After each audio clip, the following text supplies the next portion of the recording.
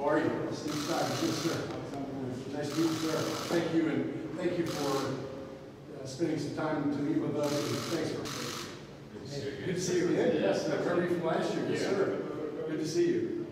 Thank you, yes, sir. Nice to see you. Nice to see you, Colonel. Thank you. Medical, right? Yeah. And it's uh, really thriving and uh, really, uh, we, I just wanted to express that. How are you and how are your family doing? You've been in the uh, defense minister for about a year now, right? Yes. We've not met June, early June, late May, uh, in my congressional role, and then as the president. Exactly, yes, sir.